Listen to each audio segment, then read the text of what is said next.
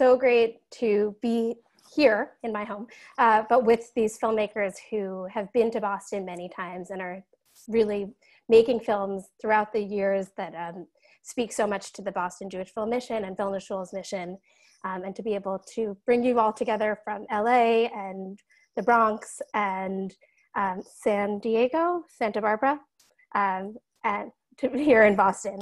Um, so it's my pleasure to introduce Laura Bialis, who's the producer and director of tonight's film. Laura is an award-winning documentary filmmaker. Her film Rock in the Red Zone screened at Boston Jewish Film Festival in 2015 and is a personal view of the, from the ground of Sderot, Israel, and an exploration into the life of musicians creating art in, inside of a conflict zone. Bialis also directed and produced the critically acclaimed documentary Refusenik about the movement to free Soviet Jews, her other work includes View from the Bridge, Stories from Kosovo, and Tak for Alt about Judy Meisel, a Holocaust survivor turned civil rights activist. Hi, Laura. Hello. So happy to be here with everybody today. Um, I also want to introduce Nancy Spielberg, who grew up immersed in filmmaking, working on her brother Steven's early films as cast and crew. She is an accomplished businesswoman and philanthropist and has turned her energies and talent to producing films with the goal of preserving stories to make them into educational tools for younger generations. Uh, she produced several films that have appeared at the Boston Jewish Film Festival and in Boston, including Above and Beyond and Who Will Write Our History on the Map, um, and has produced um, Oscar winning documentary Chernobyl Heart. Um, Nancy is the founder and co founder of several charities, and I'm proud to say sits on the honorary board of Boston Jewish Film. Hi, Nancy. I love you guys. You know that. and Roberta Grossman, who was here just two years ago. Um, she's an award winning filmmaker who's written, directed, and produced more than 40 hours of film and television. Her most recent project, Who Will Write Our History, is about the archive of the Warsaw Ghetto and screened at the 2018 Boston Jewish Film Festival. Other films of Roberta's that have come to Boston include Hava Nagila, the movie, um, and Blessed is the Match, The Life and Death of Hannah Senesh, and Above and Beyond. Roberta also recently co-directed the Netflix original documentary Seeing Allred about Gloria Allred. Hello, Roberta. Hi, it's very happy to be here with you. And finally, last but not least, Sophie Sartain, who's the writer of tonight's uh, film. Sophie wrote, directed, and produced and shot Mimi and Donna, which was part of ReelAbilities Boston and aired nationally on PBS Independent Lens and was named one of the best TV shows of the year by the New York Times. She's also the co-director and producer of Seeing Allred and a writer on Above and Beyond, Hava Nagila and Blessed is the Match, Rock in the Red Zone, Feminist, What Were They Thinking, and more. Uh, it's very hard to condense your bios. You all have done so much. Um, Sophie has been a film envoy with the American Film Showcase and a diplomacy program run by the State Department in partnership with USC School of Cinematic Arts, has served as a panelist for the NEH America's Media Makers Grant and the recipient of grants of ITVS Open Call and the Fledgling Fund. Welcome, Sophie. Thank you. It's great to be here. And we are excited to talk to you about Vishniac.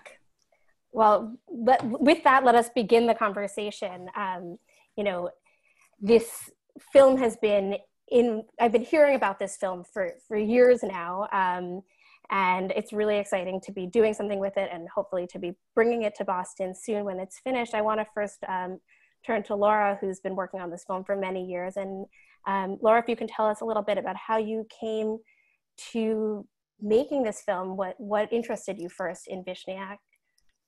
Well, um, I first met Mara Vishniac, who is was Roman Vishniac's daughter. Um, I, I can't actually cannot pinpoint it. I think it was like 15 or 20 years ago. She also lived in Santa Barbara for I think the last like 40 years of her life, and um, was a sort of really involved member of the Jewish community here. And so uh, a mutual friend introduced us while we were waiting for um, an Elie Wiesel lecture to start. Um, and we ended up sitting next to each other. Uh, I had just done my first film about a Holocaust survivor. And um, as we sat there waiting for Elie Wiesel to take the stage, she, Mara started telling me this, her life story of being a child growing up in Nazi Germany and basically escaping all the time to different places um, every time things got too scary in Berlin, um, and then how that how her family eventually escaped from from Europe altogether. And I didn't even I'm embarrassed to say I wasn't even that versed in who Vishniac was at the time, but her story really appealed to me and i always thought wow that's just like a movie and um, and later on we became friends and i went to her house and saw some of her father's original prints and um, even went to the gallery that that represented him and um, and saw more of his work and i and it was sort of like always in my the back of my mind that this would be an amazing and important film and so when i moved back to santa barbara from israel i said, "Well, where's Mara? Let's let's do this." Um, and that's how we got started. And unfortunately, she passed away um, at the end of 2018. But I spent about three years uh, really seriously interviewing her and working with her to capture all of her memories and her thoughts. So the film really uses Mara's voice, and I would love to show a clip um, from the opening of the film um, that gives an example of, of how you used Mara in creating this.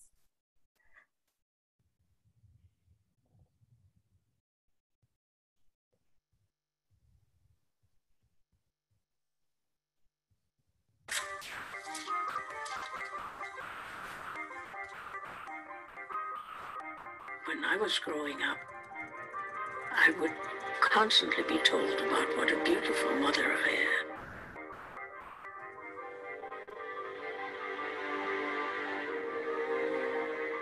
Which, uh, it's a mixed blessing because it does make you suspect that you're the ugly duckling.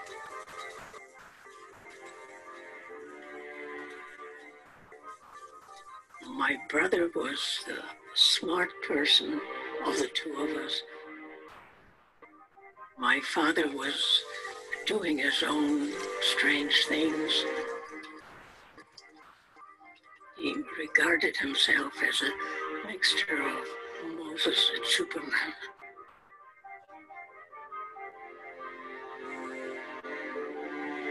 There were these roles in the family that I think happen in every family.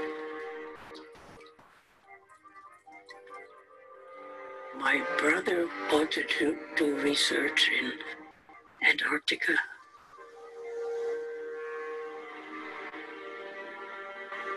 And uh, on the second trip, he fell off a 500 foot cliff.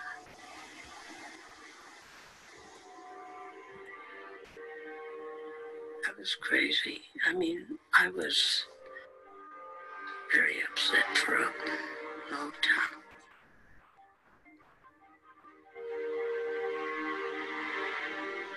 I remember a moment, and I remember the exact spot when I realized, my God, I'm going to have to be responsible for the photographs.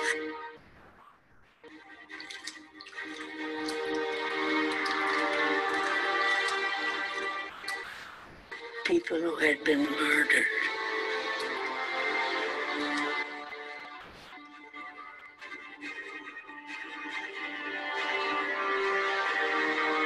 And who should not be forgotten.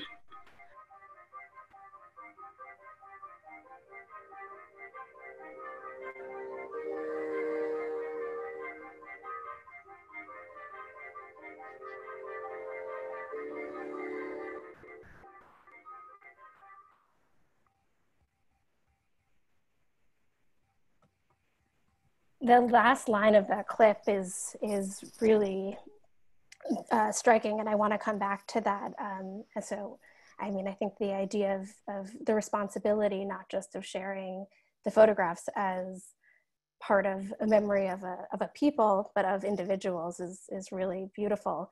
Um, but before we sort of move into the significance of Vishniac's work, I would love to ask all of you. Um, you know, I, I, Laura, you said you sort of got to know who Vishniac was through Mara. Um, and I'm curious if for anyone um, else on the team who was very, may have been more familiar with Vishniac, if working on the film or getting to know Mara um, changed your view of Vishniac and of the significance of his work. And for you too, Laura. I think that for me, um, I was familiar with Vishniac's work. Um, I, you know, had the pleasure to meet Mara only once. Um, she was a lovely person. Um, of course, Laura has so much footage with her, so we're getting to know her uh, in the editing process. But I think that um, I didn't re- I thought of, of Vishniac in that sort of narrow way as, as somebody who captured this uh, last moments of a, of a certain of a, of a civilization that was about to be wiped out. But what I've learned from Laura and from Mara and from the photographs is that he was so much more than that.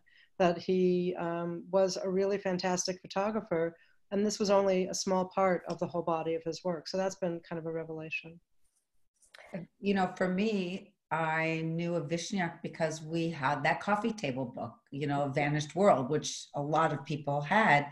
And so I knew it only in that context. I knew nothing about the man and, and the, you know, multifaceted career he had with, with science, photography, and everything. So uh, this has been uh, an education for me, definitely.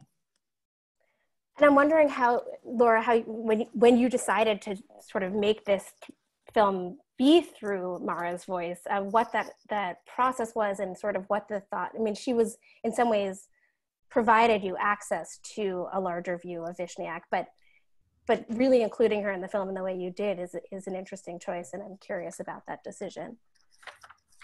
Um, it, it, I always felt that her voice was really important because she was, at, you know, she's not alive anymore, but she was the person that I had to work with and she was to me a really fascinating and quite amazing person who I really admired and respected. And and at the beginning, um, she was kind of hesitant to to get involved in the film and to let us do a film. And uh, what I found out later is that she had had a really challenging relationship with her father that had not always been good. And um, it was complicated. She had complicated feelings about him. They didn't have always have a good relationship. And so um, trying to explore and get to the bottom of what that was was very interesting um, in, the process of also learning about all of the amazing things that he did. Um, Sophie, what do you? I, I'm curious I no, I think it was it's amazing that Laura made this um, friendship and and over a period of years um, earned the trust of Mara. I mean, she is someone who her stories are incredible. I mean, she was in the dark room the first time those photographs, those iconic photographs, were developed and and came to life literally before her eyes when she was a little girl. So to have that person who was there um, was is just tremendous and um, and also to have lived through Nazi Germany as a child she was born in 1926 so you know formative years for her were the 30s um, as her world was changing all around her in in chilling ways and uh, so those memories I think Laura Laura's idea to to use her as an anchoring voice um, really is was really smart um, oh, Lynn just threw up some photographs, so maybe um, right. This is these are photos. You can talk a little bit about of Vishniac's um, Vishniac himself. yeah, talk a little bit about those, Laura.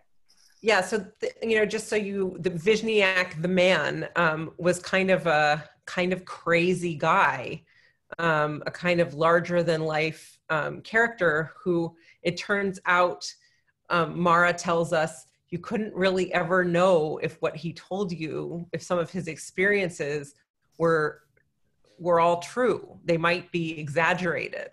Um, she calls she talks about him sort of being a fabulist um, and making up sto- a lot of stories. And one of one of our favorite lines uh, that Sophie and I have been talking about is that um, she at one point says, you know, the big surprise was when we learned that some of his stories were true. um, I think. That's really um, what kind yeah. of? Can you share some of the stories that were sort of too, too, too strange to be true? Well, well, I mean, one, the arrests, right? I mean, from what we could gather from all the research that's been done, he was arrested one time But he, Right. in some interview, he someone a reporter asked him how many times were you arrested, and he said, "Oh, 11. Ah! so we thought, okay, Right. and he kind of you know when he escaped when they when the family escaped and came to america he kind of created this persona for himself that he spoke um, 14 languages and had seven degrees and in reality he had never actually finished he had never actually gone to university because he, he had escaped from the russian revolution and went to berlin and didn't have a chance to ever he was an autodidact and taught himself um, both science the sciences and photography and had never actually had a formal education. So a lot of these things were completely complete bluster um, one of the things that's really interesting the, the photos that you're that you've got up right now are sort of the most i would say iconic views of of what we think of when we think of Vishniac. and Um, I'd love if you can actually give some sort of, I think for many of the people on on um, on right now, they might know who Vishniac is, but some sort of sense of of who Vishniac was and and what his photograph project was that made him so famous and made him one of the most emblematic photographers of um, of this era. So he was basically hired by the Joint Distribution Committee um, in what we, I believe, 1935. Um, and he, between 1935 and 1938, took dozens of trips, traveled over 5,000 miles all over Eastern Europe to document um, these communities that were in need of financial assistance, um, whether it was um, and the JDC was helping them um, with food and with all kinds of programs. They had a summer camp program outside of Warsaw where they would send kids who had were you know basically living in what amounted to the slums um, so that they could get some fresh air. Um, and they had these quite extensive programs all over Eastern Europe in Jewish communities. And so this was basically a PR fundraising trip that they hired him um, to take these photographs so that they would have images to help raise raise funds. So what's very fascinating is that he photographed he pho- photographed a lot of different and diverse subjects, but the ones that initially got published were really photographs of poor, destitute um, Jews, very religious Jews, um, orphan children, mo- mostly photographs of men and boys um, studying um, or in the streets. And in, in, in reality, when you get to look at the huge trove of negatives, uh, he shot much more d- diverse and fabulous um, photographs that were never that re- never really came to light um, until recently. And was he shooting those for his own part? That was clearly not a part of the mission he was on from the joint. It was Was it? part of the mission because it was part of life that he was documenting in these places. But I think those are just not the ones that initially got published. And there's been a, some controversy about well, did he edit the more modern people out? Um, and he, they're in the photographs. But I think what's interesting is that, you know, when he brought those photographs back and sent them to the JDC, um, those are not the ones that eventually sort of were needed. You know, what was needed are the really sad photographs of children who Right. looked hungry um, and sort of these photographs to tug at people's heartstrings. So it's very interesting to open up all of the materials and go through all of these negatives and contact sheets and to find pictures of smiling, adorable little girls and women with modern haircuts and uh, a beret. You know, there's like this one photograph of a woman with a beret uh, selling fish, and next to her is a very orthodox man. And so those are sort of images that you don't you don't really imagine when you think about this old country image because those are not the ones that initially got published. So um, I think the the other thing that's fascinating in going through all this material and in recent some recent books that have been published is that Vishniac not only um, shot this one period of time from 1935 to 38 and did not just photograph Eastern Europe, but his photographs tell the story pretty much of European Jewry in the 20th century because he also was photographing Jews in Berlin who were trying to escape from Germany. Um, we do have those. While while you um, while we cue those images, I just want to remark because I think it's really fascinating um, that you say that those aren't the images that we see, and they're not the way we see that we. That's not the way we see Eastern Europe now because we only see it through the eyes of what these of the images that really were published. Um, so I think it's interesting to think how the editing of what we got to see of his images has really shaped our memory of what Eastern Europe at that time was. Um, so it's amazing to be able to see a fuller view of Europe at that time through through the images that you're going to bring forth in the film. Um, it's it feels like a very important work to show a fuller view.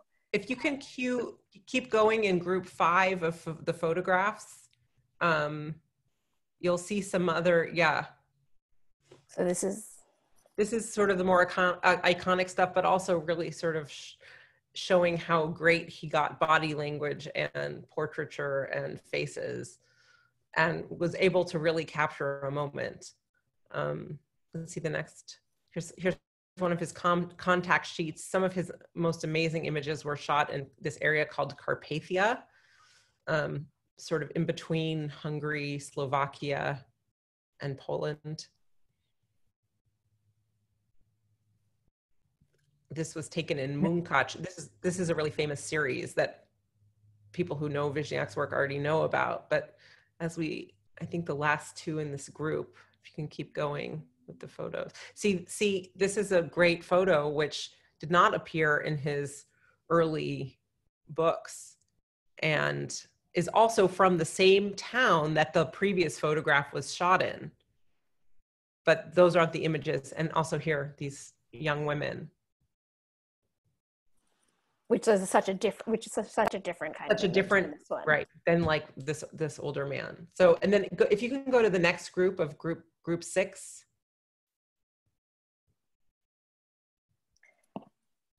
And did you were you aware of these images the, of the rest of the images before, or is this all stuff that came out through your conversations with Mara, that there were other kinds of images of Europe at this time? Mara had worked with um, with uh, a curator um, who had had recently put together the Roman Vishniac archive, and so she had already been studying some of these things and had put together a book. Um, and so this was a lot of of what was in the works. There was already scholars working on this, writing about it, but just very recently. I mean, what the book came out after I had already started working um, and interviewing Mara um, in 2015, I believe. And then, um, in addition, there's all, there was also a traveling exhibition called Ro- Roman Vishniac Rediscovered.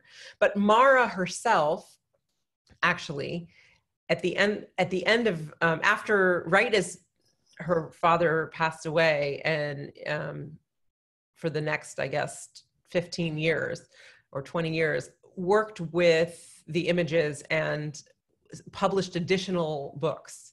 So she published a book about berlin called roman vishniac's berlin and some of these other images also appear for example of the jews in berlin which sort of had never really seen the light of day. This was in 2005 that she published this.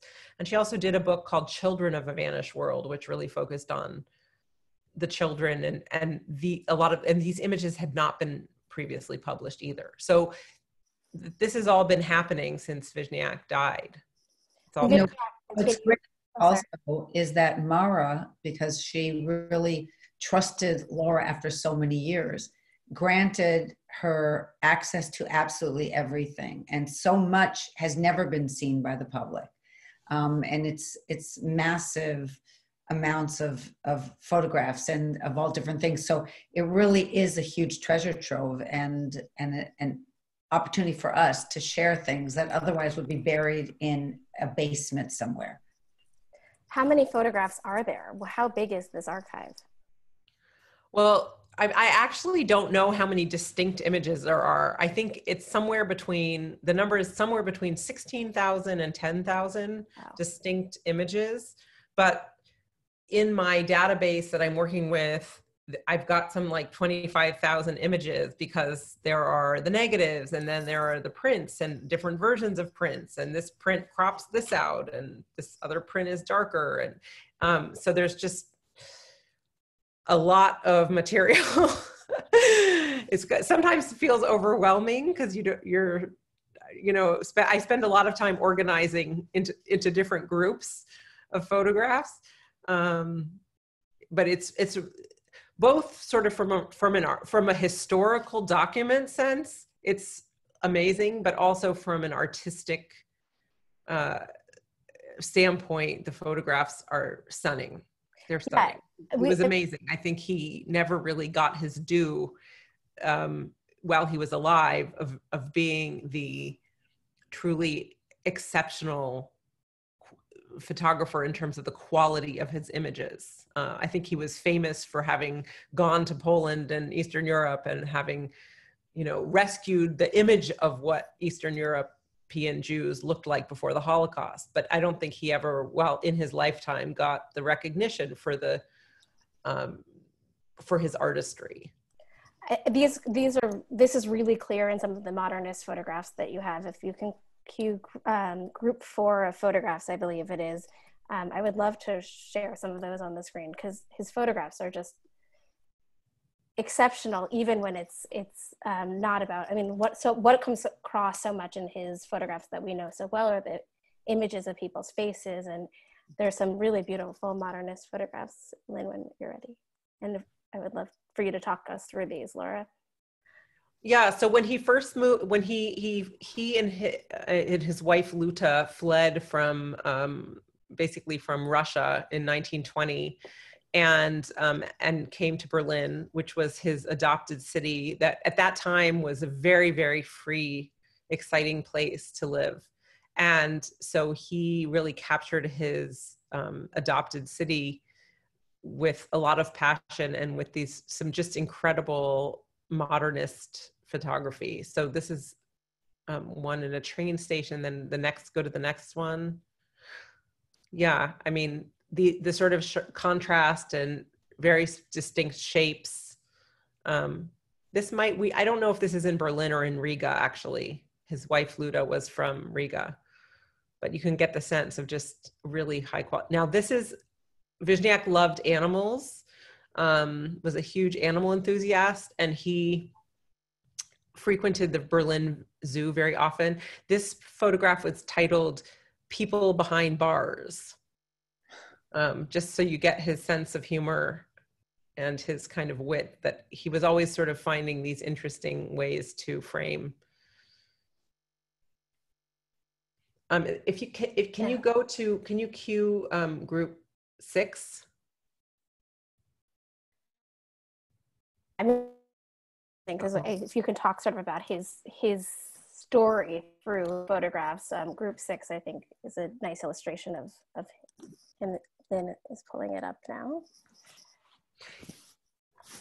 Yeah, Um, so I mean, I think what is really fascinating, one of the truly fascinating things is that Vishniac was a Jew living in Berlin with his family and basically was going through all of the persecutions that Jews in Nazi Germany um, were living through. Um, and, and he was documenting that. And so he has this incredible series. There's just, I think I have two from the series, but of um, people in offices trying to obtain visas to leave the country. Um, and then if you keep going in this group, I've got the other thing. Vishniac himself was was Vishniac himself trying to get out of the country at that point. Well, um, he himself was not trying to get out of the country, but his wife was was doing all the work to get visas for them. Um, I think pretty much starting in 1938. And the this group of photographs is of um, Zionist training camps that were all across Europe that he documented, which basically this one is in the Netherlands. There was one outside of Berlin. And um, there was a huge effort on behalf of the Jewish community where they basically they took these you know people who were lawyers and teachers and and sort of urban dwellers and to the idea was to turn them into farmers so that they could emigrate to Palestine um, or to another country and have a skill. So there was um, a, a huge portion of his photography is dealing with these training camps um, where Jews are actively learning a skill. Now, another um, another group of photographs that he has, which is really stunning, and and I think is not well known, is that after the war, he came back to Berlin and he photographed um, people in displaced persons camps. So this is in a displaced persons camp in Germany, and this little girl is about to leave, I think, for America. Um, but there's some really stunning work, and again, not you know previously unpublished. We're going to open it up to um, to audience questions soon. So if you have questions, please type them into the Q and A area of your screen. Um, and if you're w- willing to, if you want to come up on camera and ask the questions, uh, please make it clear in your question that you're willing to come up on camera and we will arrange that for you. Um, but I would love for you to talk a little bit about what um, his photography turned into when he got to America, because I think that's really fascinating and is also sort of part of, um, follows in the story of what um, Jews, Jews from European countries lived there and then came here and, and started new lives. So I think the shift in his photography is really interesting in that way. Well, from a really, really early age, Vishniac was fascinated with microscopes and documenting biology through the microscope. So, and zoology, all kinds of microscopic organisms who he, you know, sort of anthropomorphized. And we see there are some actual um, films where you can see him talking about these little microscopic organisms like they're people. oh, here he comes, coming around the bend looking for a mate, you know, all this kind of stuff. Hilarious. Um, and so it, this was a huge passion of his. And um, it's almost like it's almost like this is what he wanted to do his whole life and this whole project of the eastern european photographs and the photographs of Jewish the Jewish experience was was not something that he had I think it was like an offshoot. I don't think that that was what he intended to do with his life. I think he kind of fell into that and um, kind of found himself in that way and found his his community. But ultimately, he always wanted to do these mic- microscopy, as Mara would call it. And so um, he ended up becoming a very famous photographer who worked for Life magazine and became the kind of go-to guy for all in all kinds of by all kinds of different companies who were looking for these microscopic images. So he did a commercial for Dixie cups and a, I think something for a Disney film and um, there's a long list of of different companies that hired him to photograph these images and they're really stunning. They look like abstract kind of art. We have some now. I would love to pull some onto screen just because they're so beautiful. Um, didn't he also do films that were used in schools for science classes biology classes? Yeah he he actually got a grant from the national science foundation to create this se- series called living biology and I think so many people have probably seen these films. There, pieces of them are, um, I don't know if if you remember from science class, you know the the protozoa and the amoeba films that I think I saw them when I was in high school, um, and those were were made by Vishniac. People in the comments are saying that they that they used to watch them at Bronx High School of Science and in other science classes. So whoever didn't fall asleep on their desks when they turned. Right. um, they're really striking. I'm going to move to some of the questions from audience. Somebody is asking um, the images that you showed earlier of the Zionist training camps, where who funded him to go take those pictures, or was that his own initiative? I believe that it was either the JDC. I, I think it was through the JDC. Different organizations like ORT um, and different Zionist um, organizations that were responsible for the different camps. You know how there were many different Zionist organizations. Um, I think it was the JDC, but I don't think we know. I don't think there's any, from what I've looked into, there is not a lot of documentation available to find out who actually, what the mission was. So it could be that um, it was a separate organization or it could have been sort of through the JDC. I'm not exactly sure. Um, your cousin here, uh, Mark Strauss, your third cousin, is, is asking Hi, through Mark. a mutual Strauss family in Hungary and Czechoslovakia. Um, did Vishniac ever photograph the area where your family originated, which is now southeast Slovakia? Yeah, so this is a really amazing thing that Sophie and I keep talking about. um, as we were diving into Sophie and, and I and Chris, our editor, as we've been diving into all these photographs, it turns out that a huge portion of his really fabulous work was shot in this area called Carpathia, which changed hands a whole bunch of times between uh, Hungary, Romania, and Czechoslovakia, and sort of borders the southern Poland and, and western U- Ukraine.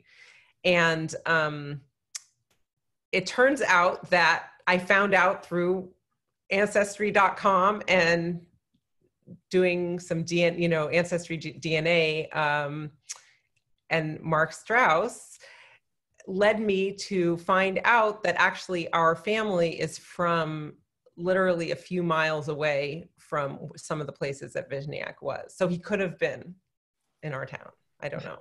But certainly, I keep finding out that more of my relatives are from this one distinct area, and that area is sort of the heart of where Vishniac was became more and more interested in. And that's a, just a very fascinating personal detail that I've I love. There's a few technical questions. Um, somebody's asking how he held his camera, and I don't know if you know anything about this, if he held his camera in a specific way, and also more about his um, micro, microscop, my, what's microscopy. microscopy. Thank you. Um, and also um, about, you know, you mentioned that he animated, sort of gave voices to these um, microbes, but did he that he also shot film footage and documentaries and if you found any of those and if you'll be including those. So that's a multi-part question but sort of about more of the technical aspects of his well um, he used a rolleiflex camera uh, which was for the most part uh, uh, two cameras a leica and a rolleiflex.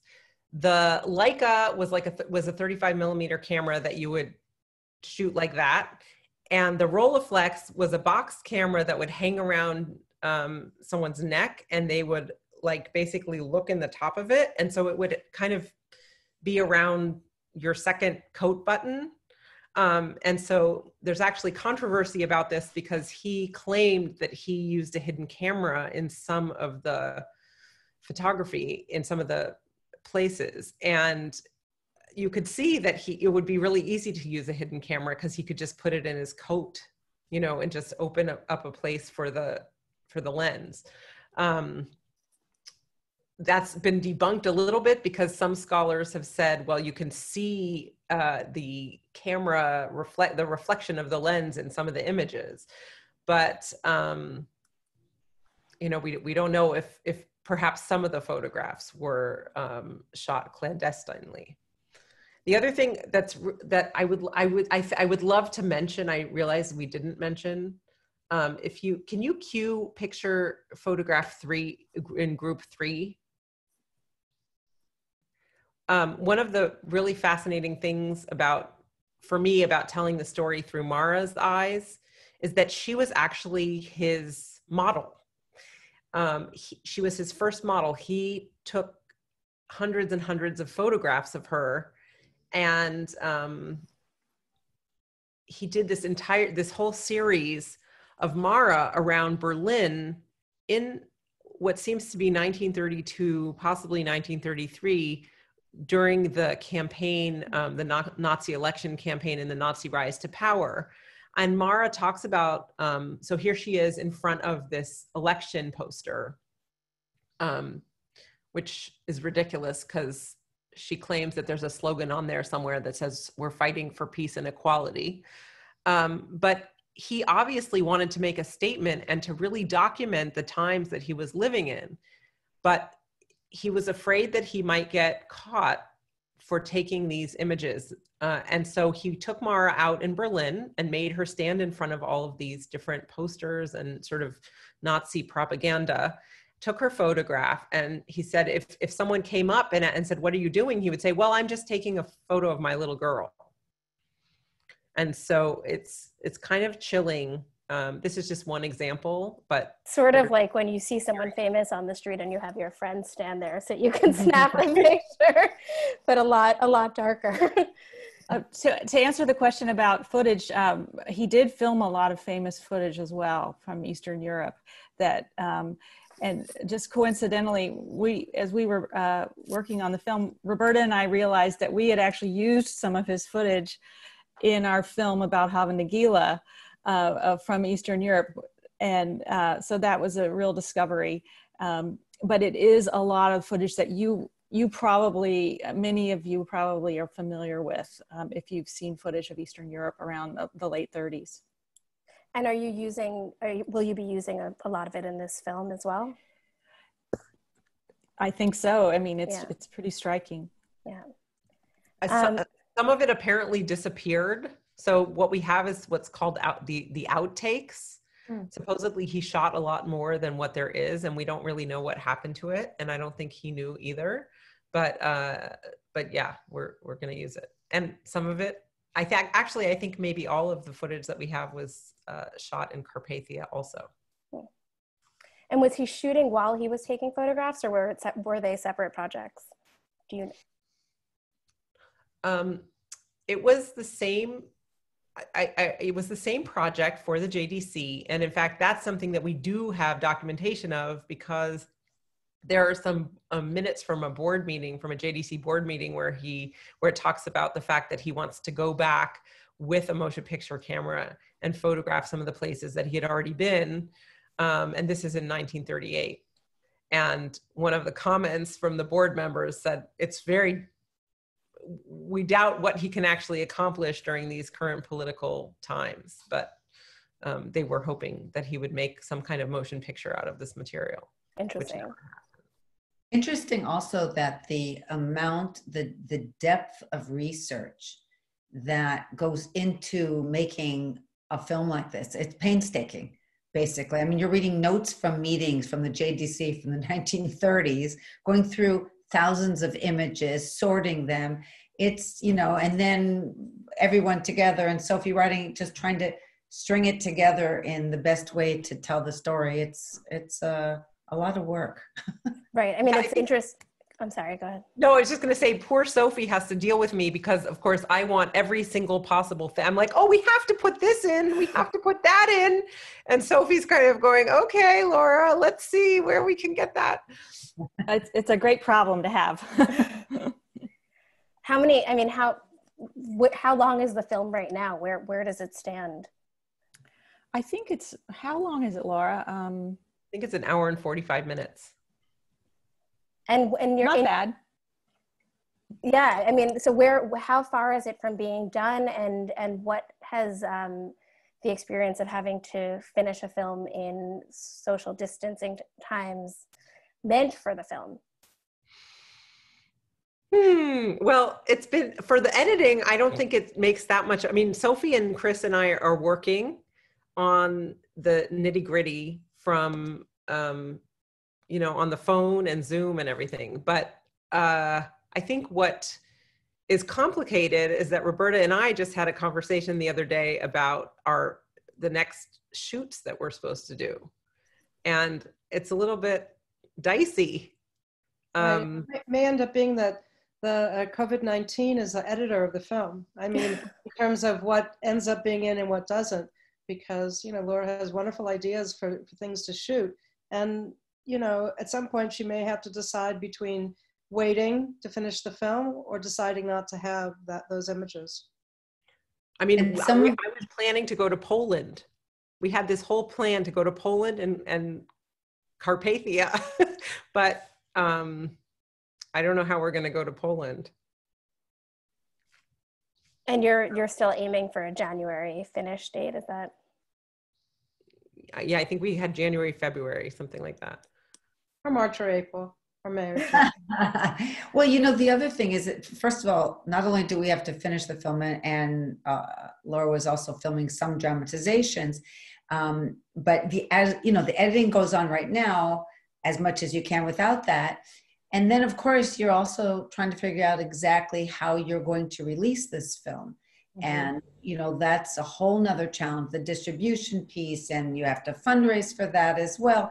So, you know, there's a lot of things. We're all trying to figure it out. We're all on this new uh, road with new rules of, of not just independent films, but even the big films, what's going to happen. So uh, we, we have to just have some patience and stay productive and positive one way or another but we'll get it we'll get it out. Even if we had to put it out today it would be wonderful. Even i really i really think that we could we're such a great team and and really great uh you know between sophia and and the way she can weave the story with chris editing and laura and everybody you know like really it's a wonderful team and uh and roberta cracks the whip a lot better than anybody else Boston Jewish Film Festival will be here for the film whenever it's done. So um, there's a question from David and Sandy Gordon who are going to join us on screen. We can hear you now. Are you able to hear us? Yes. Yes. Okay, great, thanks. Thanks, this is fascinating. Uh, we had a few questions. Um, how was it that the joint picked uh, Vishniac? Um, what parts of Carpathia did he photograph in, if you happen to know some of the specific places as we visited there? And then third, um, we're just struck by the timing because it took place at the same time as the WPA was commissioning work here in the United States. Was there any connection between what the WPA was working on here and what uh, the joint was commissioning Vishniac to do in Carpathia? Yeah, I, I'm, I'm interested if you can sort of frame that around um, was Vishniac known before and how and how he was selected, and then it is really interesting that uh, parallel projects were happening around the world. If you can talk a little bit about So that I'll- I'll first. just- and I'll- I'll, t- I'll tackle the first part and I'll let Sophie tackle the next part. So Vishniac was um, photographing these things happening in Berlin in the Jewish community and like the immigration offices and other things, soup kitchens and all kinds of things that were, were happening to sustain the Jewish community in Berlin from 1933 onward. And um, he frequented the synagogue, the Friedenstempel, um, who Rabbi um, Joachim Prinz was the rabbi there. Um, and Rabbi Prinz knew the JDC. Um, I don't know if, if anybody remembers, but Rabbi Prinz is also the rabbi who introduced Martin Luther King in the, on the March on Washington. Anyway, Rabbi Prinz apparently recommended um, Vishniac to the JDC and said, there's this guy who's always taking pictures and he's always around with his camera. So that's how he got the job. And then I, I can speak to the, um, I love the question about how it was happening at the same time as the photographers in America uh, working for the Farm Security Administration. You're absolutely right. It was the exact same years that Dorothea Lange shot Migrant Mother, you know, Walker Evans, um, Gordon Parks were all out there. And it was really the time when documentary photography was uh, becoming its own thing. Um, it's one of the things I love about the story is that not only can you trace Jewish history through Vishniac's experience, but also the history of photography. Um, and um, I lost my picture, but um, oh, I see. Here we go. Um, so, um, yes, it, was he aware of? Was he aware of what was happening in America? From what we know and what the scholars have told us, um, yes. And I would think that the European photographers and American photographers were sort of aware of what each other was doing, whether it was, um, you know, they, they, you know, it's, it's hard to know exactly how much, but definitely um, there's overlap there in that time period. It was also the time when, uh, you know, there's all, uh, YIVO started in, in, um, in Eastern Europe, in, in Vilnius, um, and they were collecting the kind of folk imagery and, and, and photography and songs and stories of the average person. So it was a time where all over the world people were trying to collect uh, the stories of individuals or of the common man, not just the, the stories of, of, of generals or princes or kings. So it was, it was all over the world.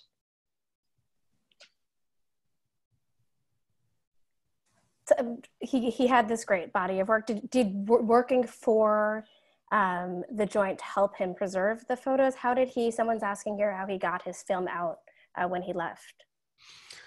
Oh, that's a really interesting story. He, um, so he was going all over the place in Europe. I mean, you see these photographs in his, in, in this, in the archive and it, it'll say, you know, different dates and he's in France and he's in Poland and he's in um, London.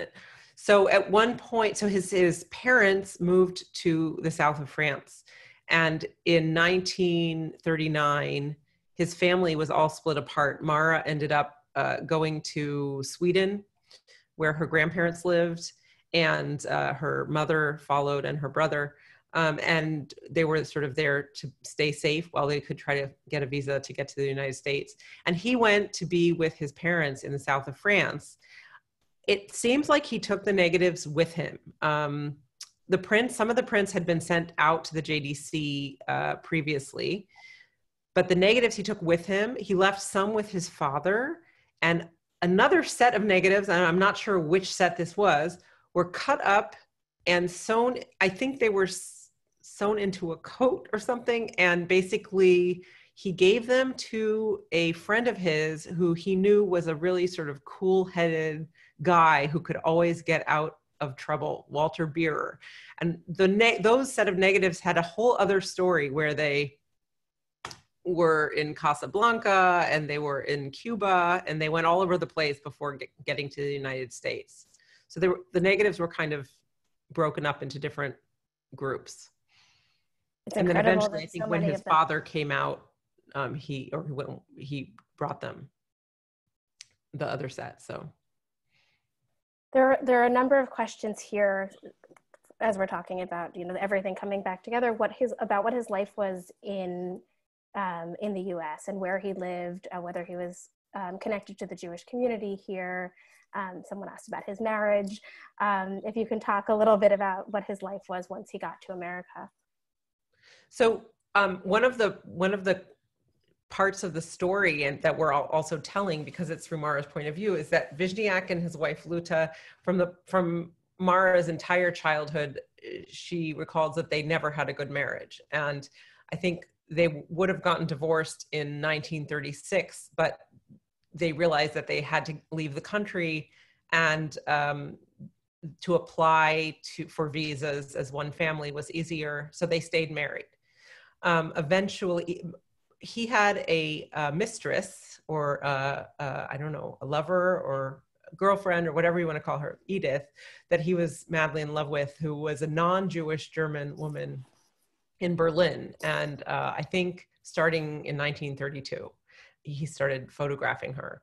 And um, so uh, that was, I'm sure, part of the, you know, story in, any case, they all came out to the United States in 1940, December 1940.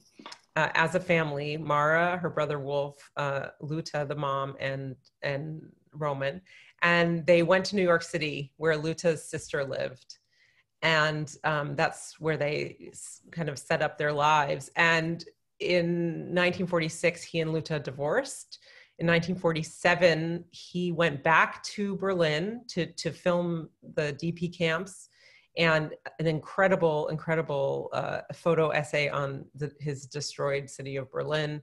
And he found Edith and married her and brought her back to America. So he lived in, in New York, and Luta lived in New York for the rest of their lives in New York City. And he was very involved in the Jewish community, even during the, I, I would say, in the years of the war.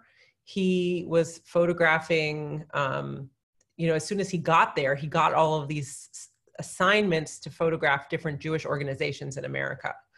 Um, so there's an entire group of photographs dedicated to all of these Jewish organizations and what li- Jewish life looked like in America. And that's sort of, I think I was trying to, a thread that I lost, but I was trying to tell the story of is that he, I think his, his if you look at his body of work, it really shows what happened to European Jews in the 20th century, because eventually coming to America and that experience is also highlighted in his work.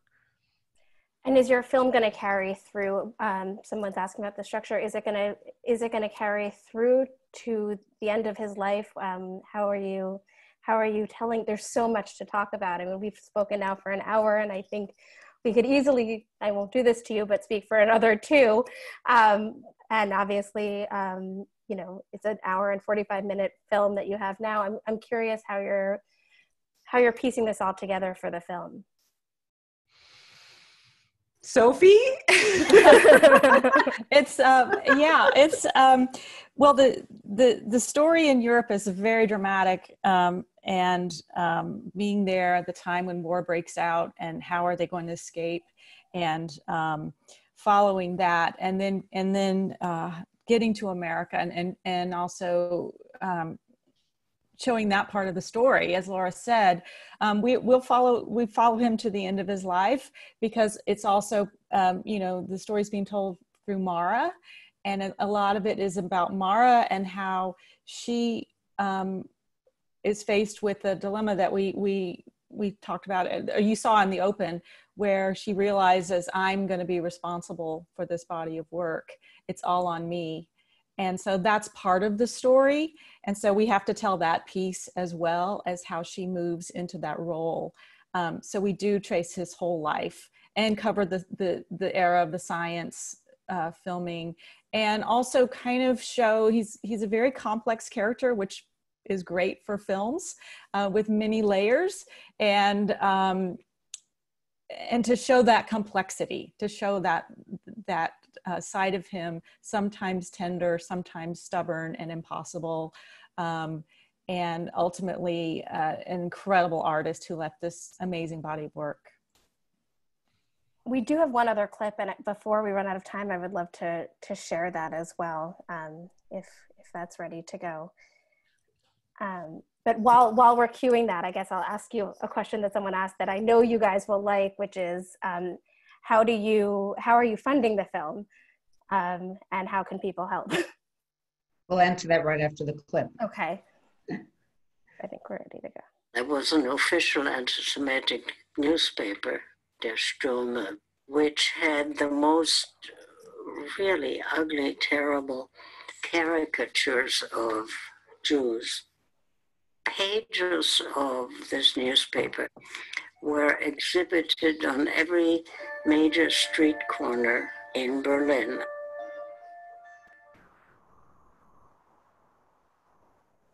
And the book starts by saying God created many different peoples, but the Jews were created by Satan every nation was given the task of building and developing their own country. But Jews were much too lazy for that. So they were going to take over the land of the Germans instead. Those caricatures bothered me. And I thought about did I know anybody that looked like that? And the answer was no, I, I really didn't. And so then I thought, well, maybe I look like that.